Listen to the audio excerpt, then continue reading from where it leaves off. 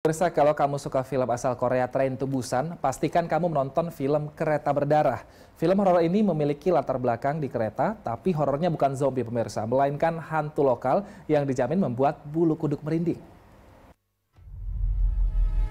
Selamat datang di Kereta Api Sangkara dengan rute ke Resort Sangkara. Mereka keluar bunga. Setelah sukses dengan film horornya yang berjudul Di Ambang Kematian, MVP Picture kembali merilis trailer horor berjudul Kereta Berdarah. karena setiap kereta ini masuk terowongan. Satu gerbong hilang. Dalam trailer, penumpang kereta api Sangkara mengalami kengerian setelah kereta yang mereka naiki akan menghilangkan satu gerbong setiap melewati sebuah terowongan. Kita semua harus pindah ke gerbong sana kalau nggak kita semua mati. Ayo.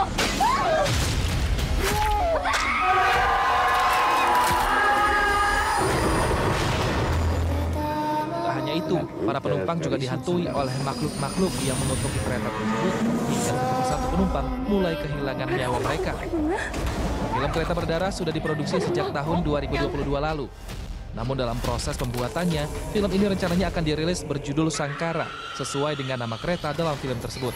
Karena setiap kereta ini masuk terowongan. Film garapan sutradara Rizal Mantovani ini masih belum tahu kapan akan tayang di bioskop. Rizal menggait Emil Kusumo, Agnes Naomi Siva Priya, Yama Carlos, Putri Ayudia, Zara Leola, Fadli Faisal, dan masih banyak lagi artis yang terlibat di film ini. Gimana, seru kan trailernya? Eits, tapi kamu harus bersabar ya. Kita sama-sama tunggu kapan filmnya akan dirilis.